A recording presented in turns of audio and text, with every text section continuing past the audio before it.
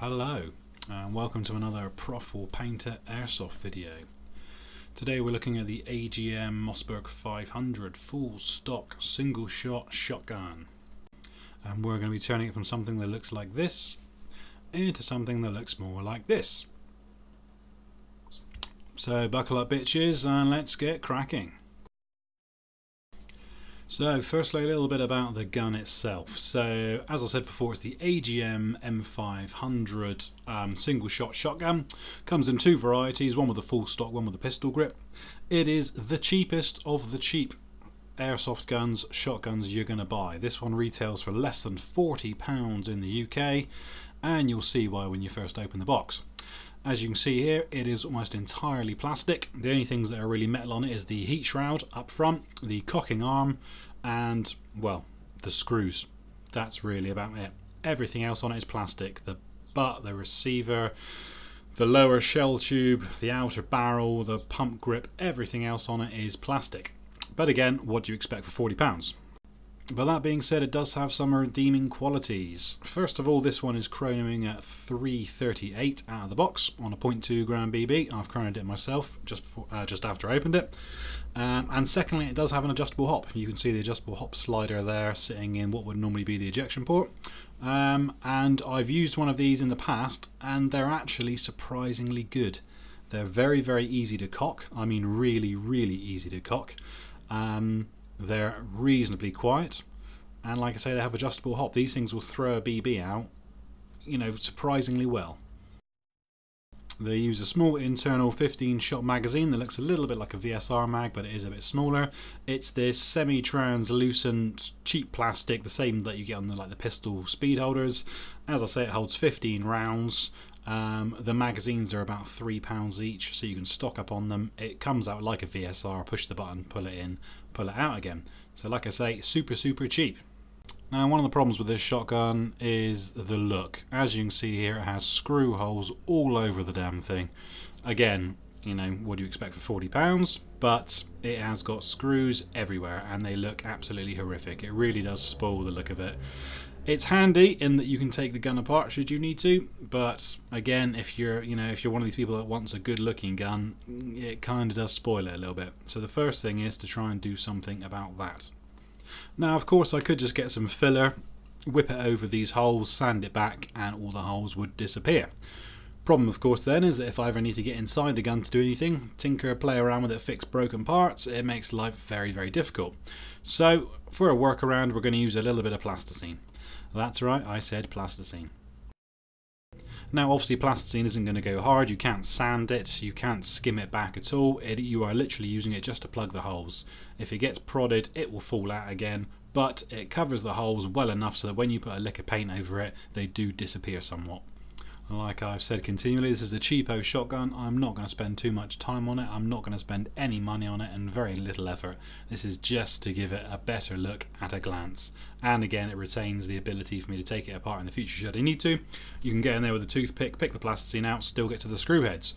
Obviously, if you go in there with filler and start packing it full of filler, it makes it almost impossible to get the filler back out of those Phillips screw heads and it's sealed up for good. Now plasticine is oil based, which means unless you are using oil based paints they are not going to stick to it. They will still sit on it quite well, but if you wipe them with your thumb they'll come off very very easily. But again, this is a cheapo shotgun, this is a cheapo workaround, I'm not trying to do this professionally. Um, it is just to make it look slightly better. So if it looks like a bit of a hatchet job, it is. But again, like I say, that's the whole point. It's a cheap shotgun with a cheap workaround. Uh, here we are with the screwdriver, just whipping off those bit excess bits of plasticine, push it down into the holes, level it off with your thumb, and you can literally then just wipe it back off again. It's pretty straightforward. So once all the holes have been filled with plasticine, we're going to grab a bit of 800 wet and dry and just give the whole thing a good sanding down just to key the plastic up ready for paint. The next job once it's all been keyed up is just to grab some acetone and a bit of rag and just give it a good wipe down just to clean it up, remove any oil from it.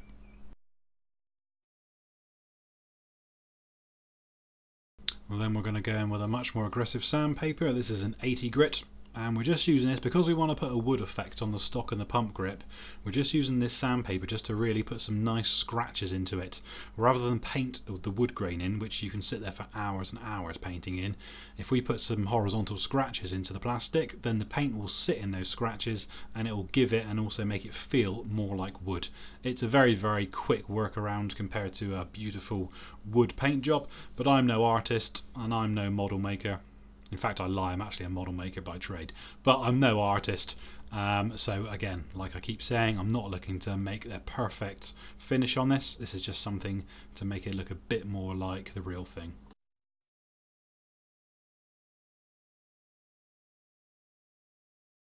So the first paint to go on is just some water-based acrylic. This one is Crafter's Choice, which is just a cheap um, water-based dark brown paint. So we're going to splooge a bit of that out and then use a brush just to paint the whole thing over.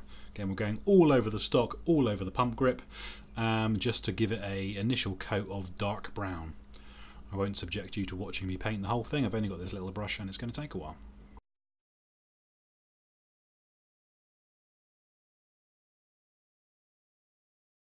So then here's the whole thing after painting. As you can see, we've done the pump grip and we've done the stock just gone over it, painted it brown, nice and simple.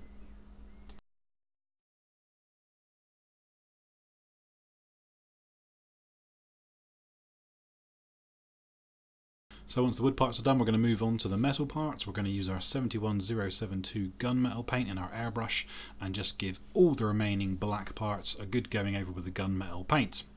We're not going to make it look absolutely perfect. We don't want it to look perfect. It needs to look real. So again, we put it on a little bit patchy, thicker in some places, thinner in others. Ah, as always, the light in my workshop isn't amazing, so once I've sprayed in each part, I'll take it outside and show it to you in the natural daylight because you can't really see it going on with the airbrush.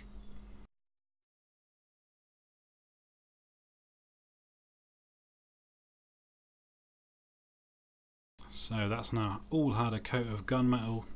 Let's have a look in the light. As you can see, it's got a sort of mottled appearance to it. Slightly shiny, still slightly black, which is what we want. We don't want it to look super, super shiny. Not yet anyway. It just wants to look a little bit more metallic than it did before. And if you've watched any of my previous videos about making things look metallic, you'll know that this is where we bring in the 71004 metallic blue. Same thing, this goes into the airbrush and we give this a light coating over the top of all the gunmetal parts just to give it that blued steel look. And again, I won't bore you by making you watch me spray the entire thing. It does take a few minutes and it isn't really a spectator sport.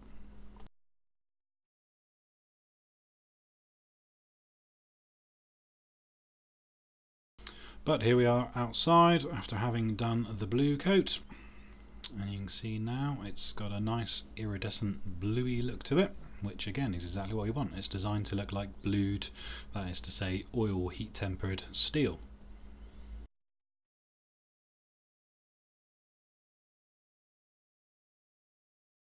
So we're happy-ish with the metal parts for a minute, so we're just going to turn our attention back to the wood parts. And here we're just going to go in with a, a wood effect or a wood colour um, light wash with our brush.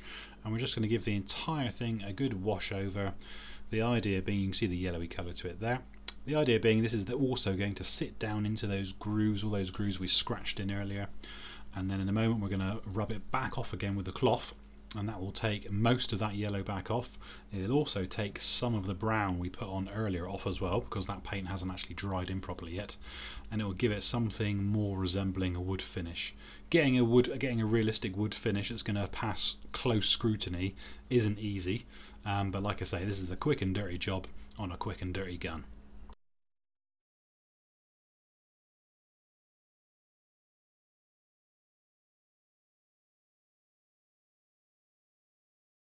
And when that paint's on, we grab our dirty rag and we wipe it off in the same direction. We're following the wood grain, so we're trying to keep it strictly to horizontal wipes. Again, we don't want to wipe it vertically because that's going to leave uh, the wrong pattern in the paintwork. We want to keep it running to which, which way the grain would be running in the wood, which is obviously horizontal. So as you can see here, we're actually rubbing almost all of that yellow back off again. Um, again, I'll show you to you outside so you get a better idea of the finish.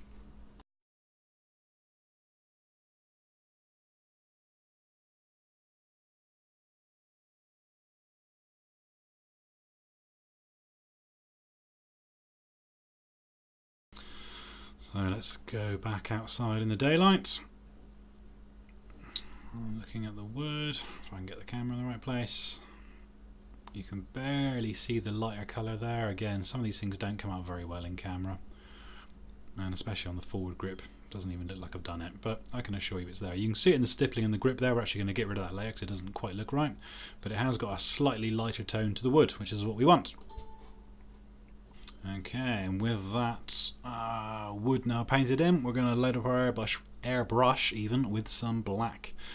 And if you watch the AK video you'll know that what we want to do here with the black is just really get it into those areas where the wood meets the metal because again this is where it gets very grimy. You're going to get carbon in there you're going to get oil in there all sorts of crap.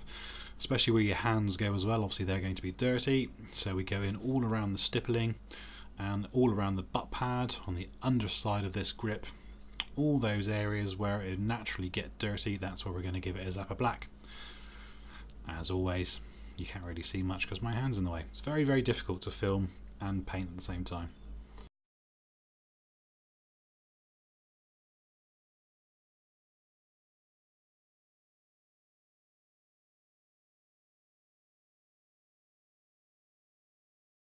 And we do exactly the same on the pump grip up at the front. Just some straight black in the airbrush. We're going to go in on both ends of the grip and we're also going to make sure we get into all those nice grooves on it as well because again that's going to pick up dirt in there very very naturally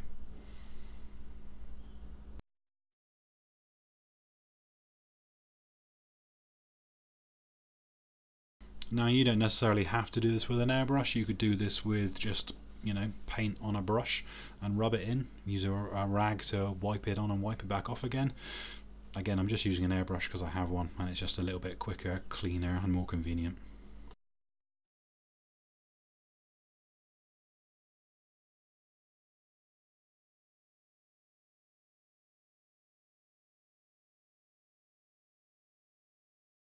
The next job then after the woodwork is to use the um, silver with the dry brush technique just to go over all those nice raised areas. If you use too much paint on the brush, that's not a good thing. You can see me here. I've actually, I'm actually using too much, and I'm just wiping it back off again with a finger. We're going over all the edges, all those raised areas where it would weather and wear naturally. As always, this is a very time consuming process because you can only use a very, very small amount of paint on your brush at one time, or it's going to end up looking like you've just painted it silver, which isn't the look you want. If it looks like paint, you're doing it wrong. So this, like I say, very, very time consuming. You can see I'm using way too much paint on here. I'm trying to get it to come out on camera, and I end up wiping almost all of it back off again. But you get the idea.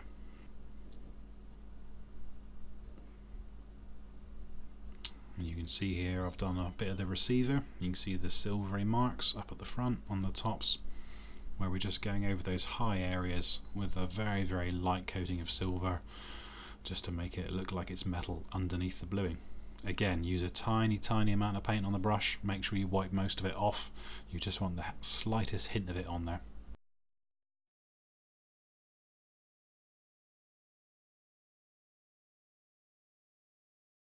And then the last job for me, because I felt it looked a little bit dark in places, just to load up the airbrush with that gunmetal silver, silver again and just start going over the metal parts just to really make it look battered and worn.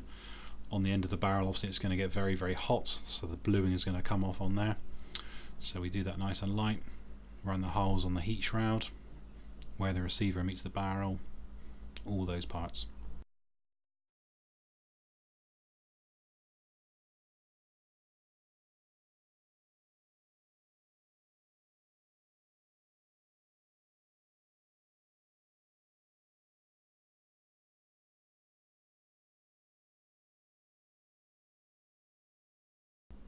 And there we go, that is it. The finished article in all its glory.